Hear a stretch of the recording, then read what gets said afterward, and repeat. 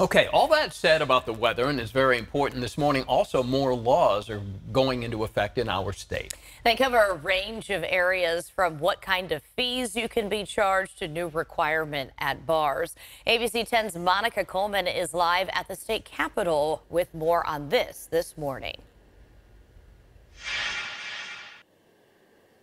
Good morning. A big law that is getting national attention is the one that would require nightclubs and bars to provide a testing kit for date rape drugs. This would allow customers to test their own drinks to see if they have been spiked. We spoke with lawmakers and the Assembly member who authored this bill.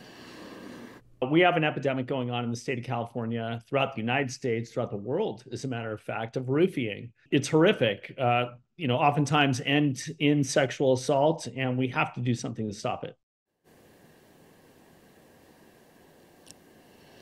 Also set to take effect an 11% state tax on guns and ammunition. Under the new law, the funds will go towards school safety and violence prevention programs. Another change that you may see is on your bill. No more hidden fees at restaurants and other businesses. A price transparency law goes into effect that makes it illegal for businesses to advertise a price that does not include all required fees or charges other than government taxes and shipping.